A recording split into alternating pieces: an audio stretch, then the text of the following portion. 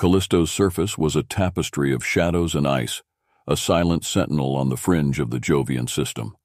The moon, with its pockmarked face, bore witness to the universe's indifference to a single life, especially one as seemingly inconsequential as the wounded figure sprawled in the crevasse of a dormant volcano. Her name was Seraphina, her body a canvas of gossamer thin limbs and bioluminescent veins that traced her form like a celestial roadmap. The scout from Nixteria was on a mission of peace, her objective to find common ground in a galaxy where first contact was often met with hostility.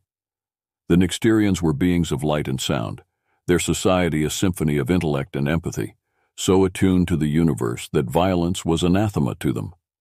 Seraphina, like her kin, was a creature not of war, but of exploration, her vessel unarmed, reliant on stealth and speed. Her mission to Jupiter's moons had been one of observation, to study the gas giant's satellites for signs of life or resources that could be shared. It was a mission endorsed by the Galactic Concord, but one not without risks. An unforeseen asteroid storm had ambushed her, and her craft, ill-equipped for such assault, succumbed to the relentless barrage. The impact was catastrophic, throwing her ship off course and onto Callisto's unforgiving terrain. Seraphina had managed to send a distress signal before her systems failed, but as hours turned to days, hope dwindled. Nixteria was light years away, and her people, cautious of faster-than-light travel's disruptive ripples through spacetime, would take time to reach her, if they received her message at all. Her only companions were the stark silence of Callisto and the ever-watchful eye of Jupiter, looming large in the sky. Her suit, designed to nourish and heal, had been compromised in the crash. The life-sustaining fluids leaked slowly into the vacuum, forming iridescent pools around her. As she lay there, her consciousness flickering like a dimming star, she accepted her fate. To die here, cold and alone, was a fate she had never imagined, for her people celebrated each passing with songs and light. On Callisto, her death would be just another secret, another shadow among many. But the universe, it seemed, was not quite done with Seraphina. Far above, a beacon had been caught by human sensors, a flash of light amidst the darkness, an anomaly worth investigating. It was the dying echo of her distress signal, a whisper that would bring Eli Mason, a miner and an unwitting savior, into her story. Eli, aboard his mining ship, the Prospector, was a man more acquainted with rocks and ice than with alien life. His job was simple find valuable minerals and bring them back to Earth. However, curiosity was a trait as inherent in him as the instinct to breathe, and that curiosity would soon lead him to Seraphina, changing both their destinies forever. The silence of Callisto was about to be broken, and the Forsaken Moon would become the backdrop for a tale of unlikely survival and cross-species friendship. Eli Mason's world was one of routine. Chart the asteroids, mine the minerals, and avoid the pirates that sometimes haunted these trade routes.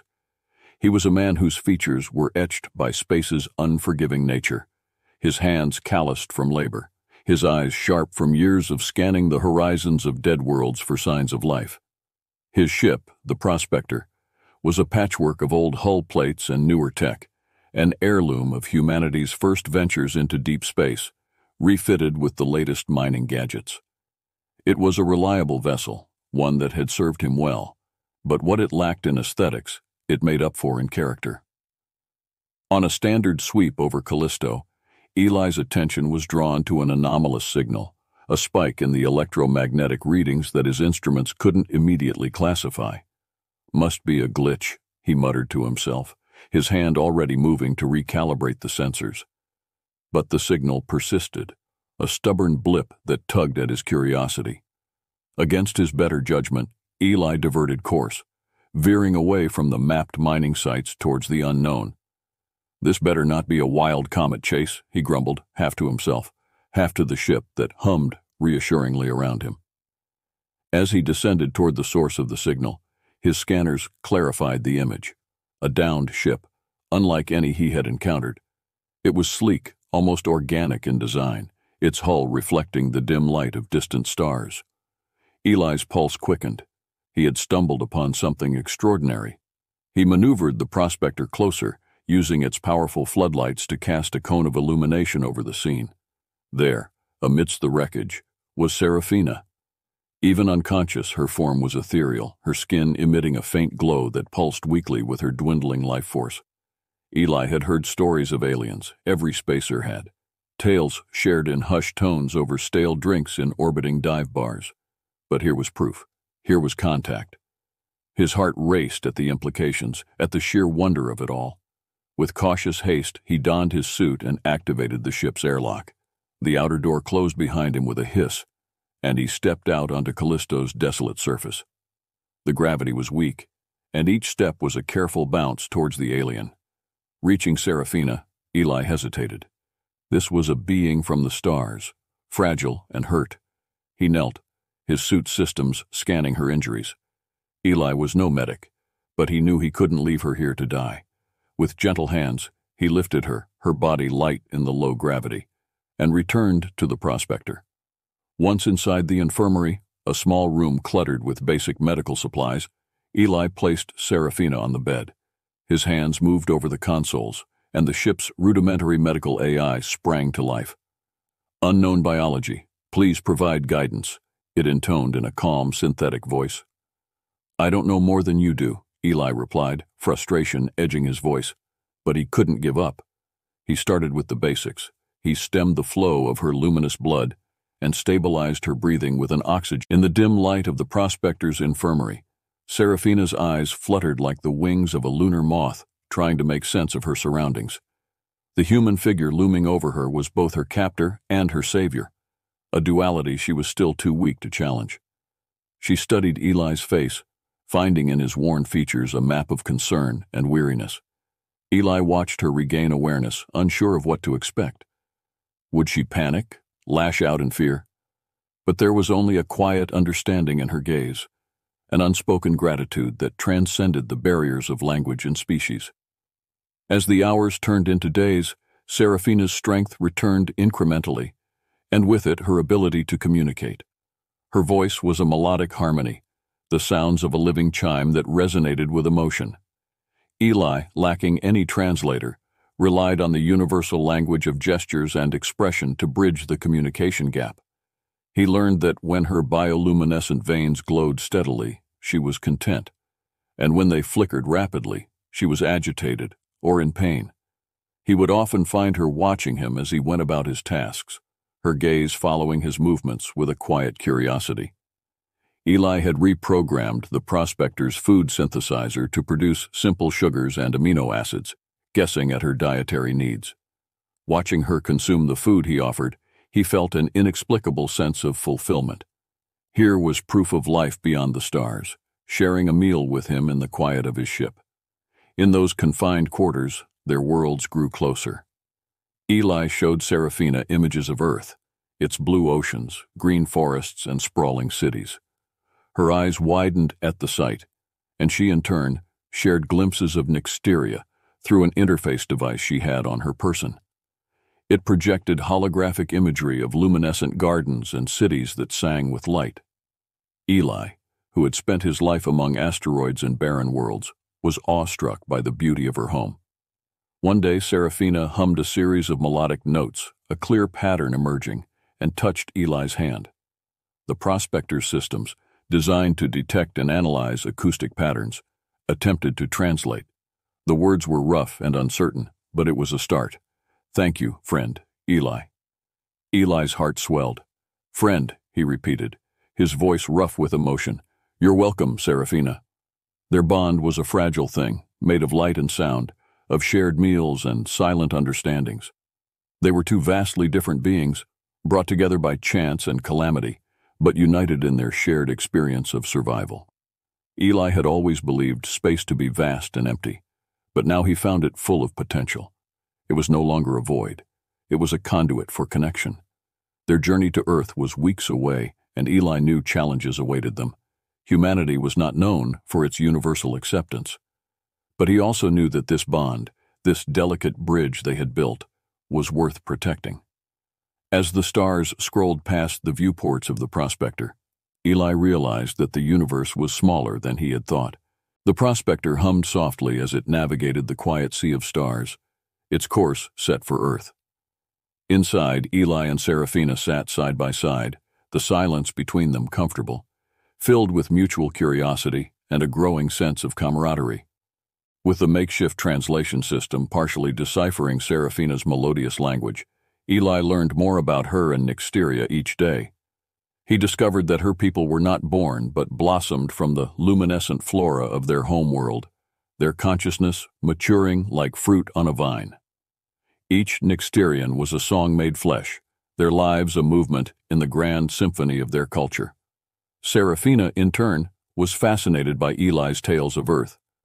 She listened intently as he described the roaring oceans, the whispering sands of deserts, and the chorus of life that filled the rainforests. Eli shared stories of humanity's art and music, their struggles and triumphs, the cacophony and harmony that shaped their existence.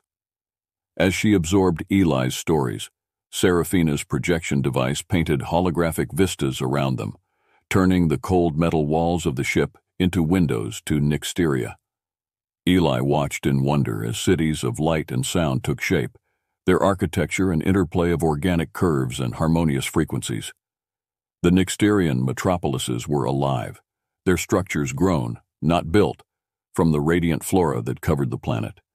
The floating gardens of Nyxteria were a sight to behold, an ever-shifting mosaic of colors and textures.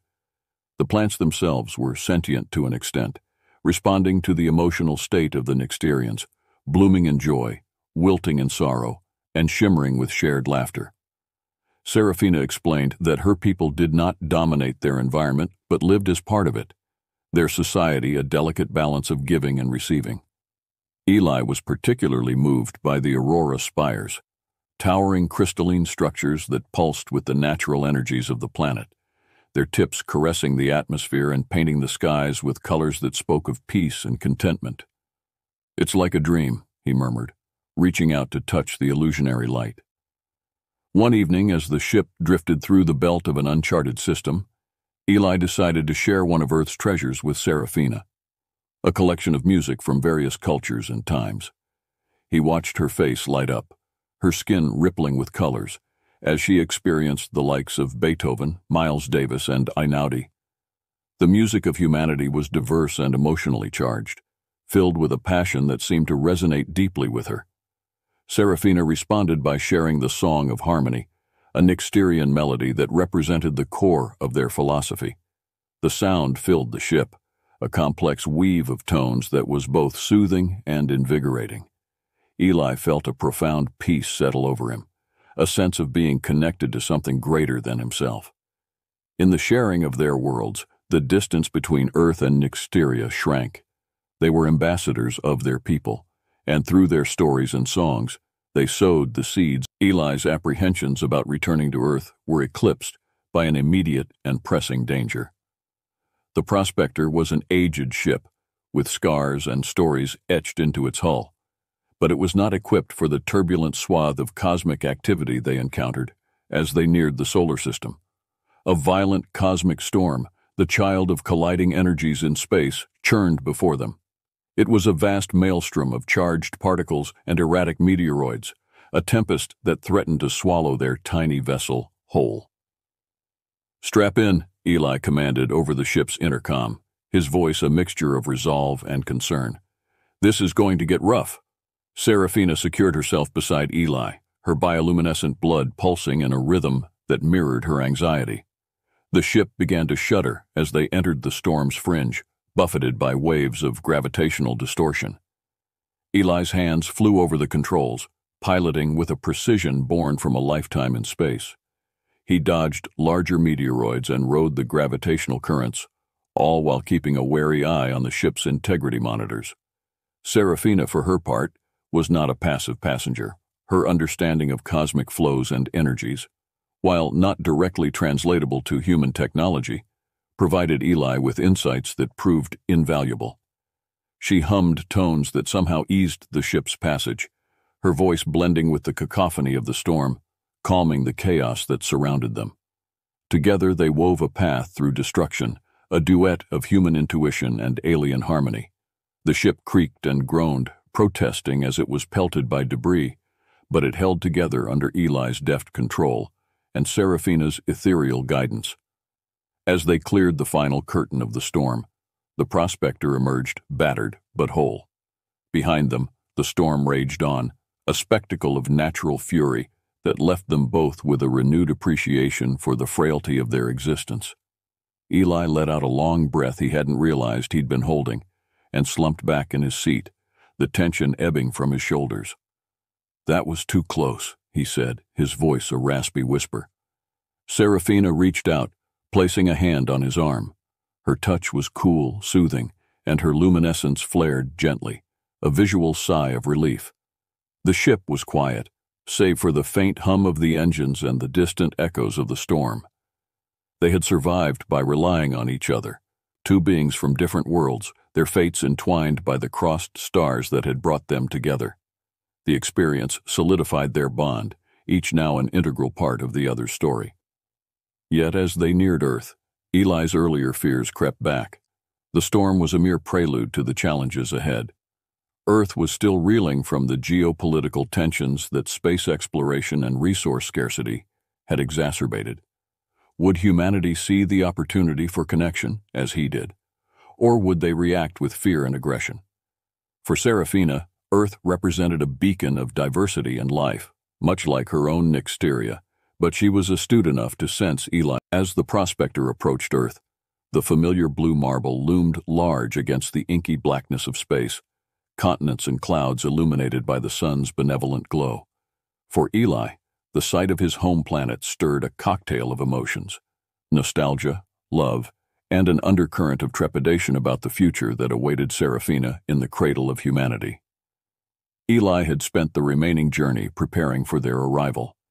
The mining vessel was not equipped for the diplomatic delicacies required for first contact, and Earth's United Global Coalition, UGC, was notoriously cautious and bureaucratic in its dealings with extraterrestrial encounters. Each strategy that formed in his mind seemed fraught with risk, the potential for misunderstanding and mistrust lurking in the shadows of each plan.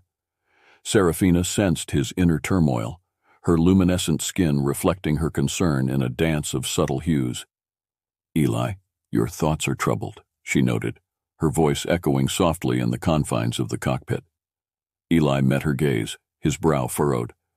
Earth isn't like Nixteria, he confessed. We're divided in more ways than I'd like to admit. Your arrival, it could spark wonder, or it could ignite fear. And fear makes people do irrational things.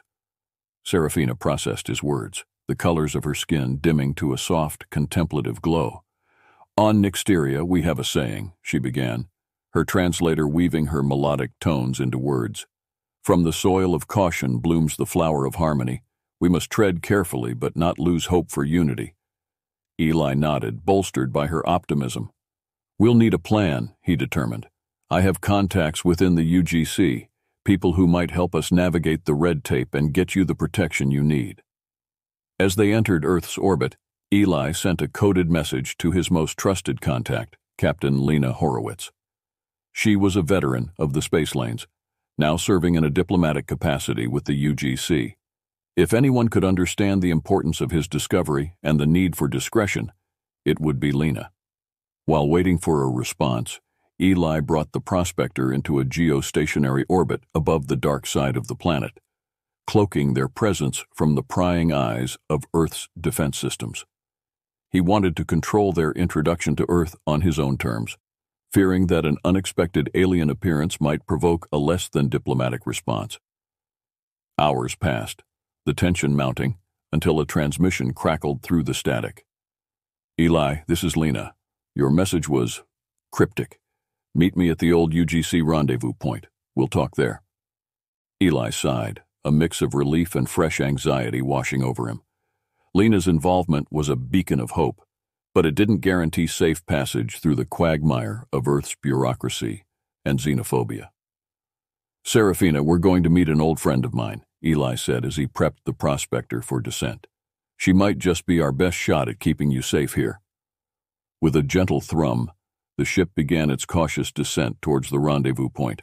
the prospector touched down discreetly in a hidden valley, shielded by the towering cliffs and dense foliage of the UGC's classified rendezvous point. Eli powered down the engines, their thrumming heartbeat giving way to an expectant silence. He turned to Serafina, offering a small, confident nod. This is it. Time to meet Lena. The hatch opened with a hiss, and the crisp air of Earth rushed in to greet them, a stark contrast to the recycled atmosphere they had grown accustomed to in space. Serafina took a tentative step onto the soil of Earth, her senses flooded by the planet's vibrant life force. The sunlight danced upon her skin, igniting a radiant display of colors that reflected her wonder and awe. Eli led her to a secluded meeting spot where Captain Lena Horowitz was already waiting, a stern figure whose uniform bore the marks of service and the badges of diplomacy. Her gaze fell upon Serafina, widening in a mixture of astonishment and recognition of the moment's gravity. Lena, this is Serafina. She's peaceful, and she needs our help. Eli introduced them with a gravity that underscored the situation's delicacy. Lena stepped forward, her demeanor softening. Welcome to Earth, Serafina, she said, extending a hand in a gesture of friendship. Serafina hesitated, then mimicked the motion, placing her hand in Lena's. Their meeting was cut short by an urgent communique from Lena's communicator. Her expression darkened as she listened to the message. Eli, the UGC has caught wind of an unidentified vessel entering the atmosphere. They're scrambling recon drones as we speak. We don't have much time. The weight of those words hung heavy in the air. Eli's worst fears threatened to materialize. The UGC wouldn't hesitate to take Serafina into custody for study, or worse, detainment. We need to move now, Lena urged. I can buy you some time, delay the reports, but you need to get Serafina off planet. Eli's mind raced. His ship wasn't fast enough for a getaway, and any attempt to flee would only draw more attention. But Lena had connections, access to the UGC's resources.